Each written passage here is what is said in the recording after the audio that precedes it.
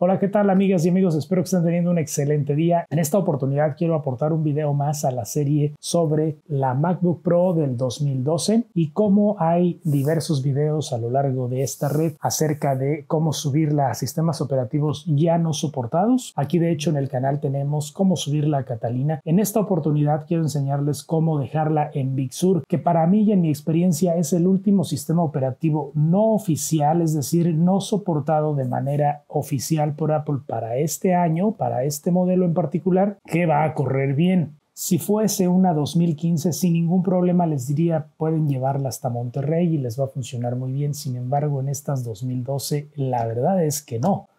La verdad es que Monterrey Ventura, híjole, elevan las temperaturas muchísimo, la hacen súper lenta, los tiempos de carga, a pesar de tener unidad de estado sólido y el máximo de RAM, no son los más recomendables, pero sobre todo el tema de la temperatura. No se puede trabajar con un equipo cuya construcción es en aluminio que se calienta hasta 100 grados. La verdad es que no se puede, no es sano ni para el equipo ni es cómodo para nosotros y mucho menos en esta oleada de calor que estamos atravesando. Entonces en este video quiero que me acompañen en el proceso para colocarle Big Sur a este equipo. Puede no ser el último, que siempre es atractivo tener lo último, pero no necesariamente quiere decir que le vayamos a sacar provecho a todas las funcionalidades de lo último. Si tenemos un hardware que ciertamente está limitado Voy a subirles también el video de Ventura para que vean que de verdad no es viable. La superficie es totalmente insoportable para siquiera teclear y para descansar las palmas. Simplemente no se puede. Entonces acompáñenme a ver cómo esta pequeña guerrera todavía puede correr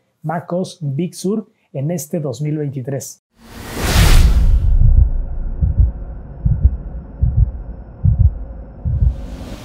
Lo primero que tenemos que hacer es abrir nuestro navegador, ya sea Safari o Chrome, el que ustedes tengan instalado. En mi caso, pues como les decía, esta Mac tiene Catalina y el único que yo recomiendo que se instale es Big Sur. No les recomiendo que se vayan a Monterrey por las razones que ya les he mencionado, mucho menos Aventura. En su MacOS con Catalina se van a ir a su navegador y en la descripción de este video les he dejado el link a los lanzamientos de este proyecto que ya no está activo pero que sigue funcionando, Patchet Sur. La última versión que quedó fue la 1.01, se van a ir aquí y en la parte inferior van a bajar estos tres, Patchet Sur DMG, Post Install, los extras por cualquier cosa. Entonces ya descargamos los tres, vamos a cerrar el Safari y nos vamos al Finder, vámonos a descargas, aquí tenemos los tres archivos, vamos a continuación a abrir Patchet Sur, el DMG, doble clic, se va a montar en nuestro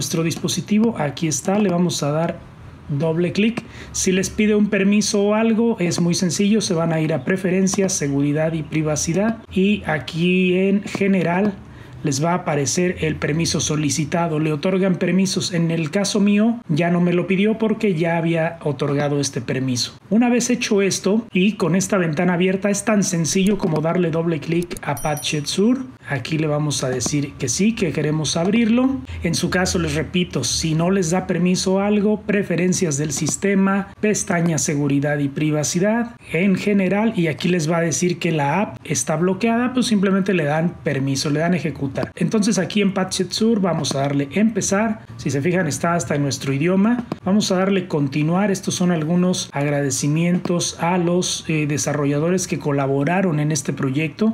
Entonces aquí continuar. Vamos a continuar aquí también ya verificó la Mac, vamos a darle continuar y aquí les va a aparecer qué versiones. Nos vamos siempre a la más reciente, que en este caso es la 11.7.7, ahí le van a dar un clic. Aquí ya nada más es cuestión de tiempo y esperar a que estén esos 12.2 gigas descargados. Pauso video y regreso en cuanto termine. Entonces, como ya terminó de bajar, ahora lo que tengo que hacer es introducir una USB. Yo aquí he introducido esta, que no tiene nombre, pero la tengo que formatear como MacOS Plus con registro. Command barra espaciadora, utilidad de discos, y vamos a formatearla. Aquí es bien importante que sea de 16 GB. Si tienen de 8 no les va a servir, si tienen de 32 pues qué mejor.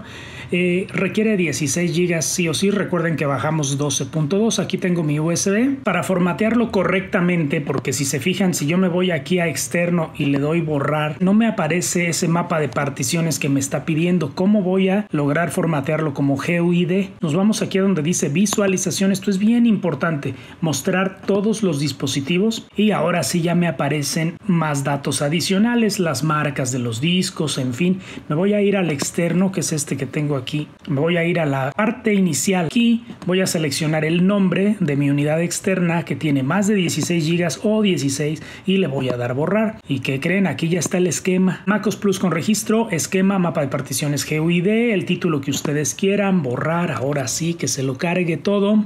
Y esto de dejar la visualización así full, ya déjenselo porque les va a ser muy útil en Mac más adelante cerrar. Vamos a donde dice regresar, refresh. Ahí está ya sin título, que es esta USB. Así que vamos a crear nuestro instalador de Big Sur.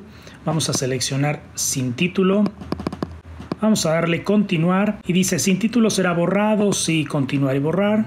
Te pide tu contraseña, se la proporcionan y comienza. Aquí otra vez lo va a formatear, ahora ya le va a poner el, el nombre de, del instalador de Big Sur y otra vez es cuestión de tiempo.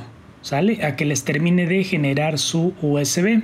Después de que ya hayan generado su instalador en USB, seguramente tendremos que apagar el equipo y al encenderlo dejar presionada la tecla Alt para que nos permita seleccionar desde dónde queremos arrancar. Fíjense, aquí ya le cambió a Install MacOS Big Sur. Ese ya va a ser el nombre de nuestra USB. Cuando apaguen su computadora y la vuelvan a prender, inmediatamente pulsan y mantienen presionada la tecla Alt hasta que les salgan los distintos dispositivos desde los cuales puede arrancar su computadora. Y ahí pues con las flechitas se van a mover a donde esté el instalador de MacOS Big Sur. Pero lo vamos a ver más adelante. Aquí nada más hay que esperar a que termine ese 100% aquí ya ha llegado al 100% vamos a esperar instrucciones finales. En cuanto termine seguramente nos va a decir ¿Qué tenemos que hacer? Obviamente dejar la USB y reiniciar el equipo, pero vamos a ver si lo hace de manera automatizada o vamos a hacerlo como ya les había mencionado, presionando la tecla Alt. Hay que esperar tantito más. Si se lleva más de media hora este proceso, así que tenganle paciencia de nueva cuenta, porque su equipo realmente va a quedar en el último sistema operativo que se mueve muy bien en este equipo 2012 y valdrá la pena todo este tiempo de espera. Por fin terminó y dice que ya estamos cerca de tener Big Sur en nuestra computadora. Así es, vamos a reiniciar el equipo presionando la tecla de Alt, lo que yo les decía, y vamos a seleccionar el disco, aquí nos indica amarillo o violeta llamado EFIBoot. Muy bien. Luego, de nueva cuenta, vamos esto va a apagar la computadora, dice. De nuevo vamos a encenderla manteniendo de nueva cuenta presionada la tecla de Alt. Nos menciona en el punto 7 que después de la actualización eh, se verá una ventana de ingreso. Luego vamos a ir a las aplicaciones y hay que abrir Patchetsur y pues parchar los Kext que es para que todo el hardware nos funcione adecuadamente. Son nueve pasos realmente nada complicados y vamos a apagar el equipo. Ya el proceso se los grabo con el móvil. Este proceso pues para quienes no lo hayan hecho no tengan miedo, es sumamente seguro, es muy fácil. Obviamente estoy pensando en aquellos que recientemente le han cambiado el disco duro mecánico por una unidad de estado sólido o en todos aquellos que pues no tienen nada que respaldar en su unidad. Ahí está ya apagado el equipo, voy a proceder a prenderlo. Inmediatamente presiono Alt y espero, lo mantengo presionado. Espero hasta que me visualice las unidades desde las cuales puedo arrancar. Recuerden que dijo Boot, entonces aquí me muevo con las flechitas. ¿Vieron? Va a ser de este lado este es nuestro disco, esta es otra historia, pero vamos a darle Boot. Recuerden que mencionaba que se iba a apagar, entonces aquí voy a darle un clic. ¿Sí? Se apagó. Ahora recuerden, la volvemos a prender. Si está apagada, como pueden ver aquí, no hay indicador. Vamos a volverla a prender y de nueva cuenta Alt. Y ahora ya no vamos a... Vamos a ver cómo nos aparece. Y ahora ya no voy a seleccionar FIBoot, ahora me voy a ir a donde dice Install MacOS Big Sur. Aquí le voy a dar un clic y vamos a ver, debe de comenzar el proceso de instalación.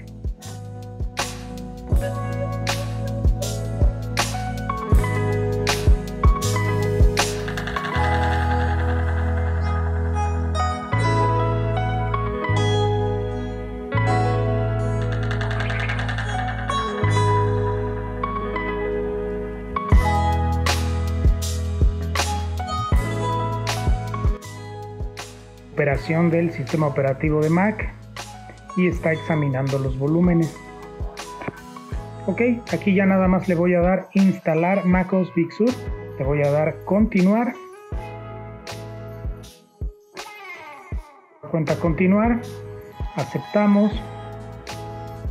Les hago hincapié que este es el último sistema operativo que soporta fluidamente este equipo para tareas no nada más de ofimática, sino para tareas de diseño gráfico, de edición sencilla de video. Yo todavía varios videos los edito aquí con Premiere, pero ya no les recomiendo que instalen ni Monterrey ni Ventura en este equipo. Por mucha RAM que tengan los 16, por mucho eh, unidad de estado sólido rápida, ya no se los recomiendo, de verdad esos sistemas operativos requieren de una tarjeta gráfica muchísimo más potente y realmente lo que tenemos no es suficiente para mover esos gráficos. Aquí pues he seleccionado mi unidad de estado sólido que tiene Catalina actualmente. Ya nada más le voy a dar continuar y nada, esperar el proceso. 42 minutos dice que se va a llevar por ahí. Se tardó casi una hora pero ya ha terminado. Fíjense el nuevo wallpaper de Big Sur. Vamos a introducir nuestra clave y van a ver ustedes que ya está como si le hubiéramos hecho una actualización a nuestro sistema operativo de Catalina ya no habrá mucho que configurar. Así que este es el último sistema de la manzana que yo recomiendo realmente para estos equipos ya anteriores 2012 y no se diga si son 2011, 2010, realmente ni siquiera les recomiendo que lleguen a Catalina. Como pueden observar ya está mi nuevo sistema operativo Big Sur. Así es como se ve un Big Sur en una MacBook Pro del 2012 no soportada con 16 en RAM. Esto es súper importante. Qué bueno que llegamos aquí. Fíjense, si yo me voy aquí al Wi-Fi, no me encuentra nada de Wi-Fi, así que hay que correr eso que yo les decía del post install. Vamos a hacerlo directamente en la computadora. Vamos a ir a donde descargamos nuestro parche, vamos a descargas, vamos a abrir esta que dice post install app.dmg, le van a dar doble clic. Van a esperar a que la cargue, va a aparecer yo creo que por aquí. Vamos a ver doble clic al contenido y dice que movamos esto al folder de aplicaciones, así que simplemente arrastramos. Dice que ahí ya tengo uno, vamos a darle en reemplazar y vamos a abrirlo. Dice, no se puede abrir porque proviene de un desarrollador no identificado. Muy bien, le vamos a dar OK, no pasa nada. Me voy a ir a preferencias del sistema. Me voy a ir a seguridad y privacidad. Cuando quiera, ¿eh? está como que acomodándose el sistema, no se siente así tan, tan guau todavía, pero fluye muy bien. Vamos a abrir de todos modos, vamos de nuevo a abrir, ya con los permisos otorgados, y ahí está. Entonces cerramos, cerramos para que no nos distraiga, vamos a cerrar todo esto y nos quedamos únicamente con la pantalla de Patchet Sur.